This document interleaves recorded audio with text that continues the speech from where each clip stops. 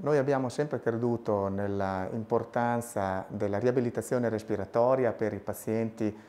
operati per tumore del polmone o da operare per tumore del polmone. Per questo eh, è da tanto tempo che abbiamo avviato una collaborazione con l'unità di medicina riabilitativa che mette a disposizione fisiatri e fisioterapisti dedicati per i pazienti che devono essere operati o che sono stati operati per tumore del polmone.